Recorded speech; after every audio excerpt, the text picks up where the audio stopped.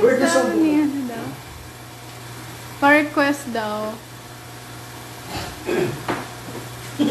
Bakit ngayon ka lang?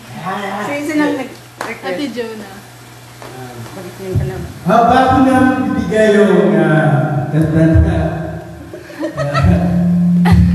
ano? Mama yun. Bakit ngayon ka lang? Bakit ganyan ka lang? Bakit ngayon? May bisaya na pagkanta ito. Ito. Okay. Gusto ko nito. to find you. alin, alin.